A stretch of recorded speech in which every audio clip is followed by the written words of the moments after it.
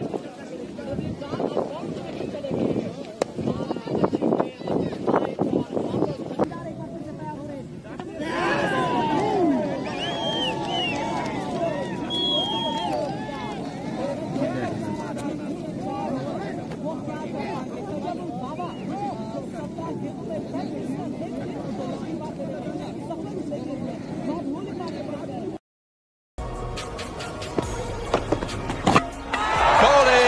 beautiful delivery. It's definitely reverse swinging.